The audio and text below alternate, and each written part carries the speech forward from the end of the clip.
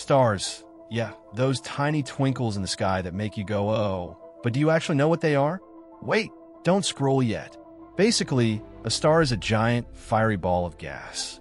Think of it as the universe's ultimate glow stick, except it's burning millions of tons of hydrogen every second. No, seriously, millions of tons. They're super extra too. Some stars are small and chill, like your lazy friend.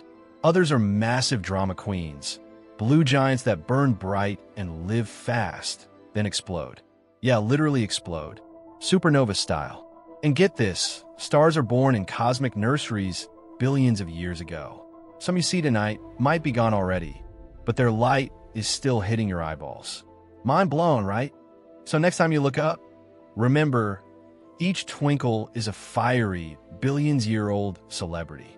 So next time you stare at the sky, remember, each twinkle is basically a cosmic firework show happening millions of miles away.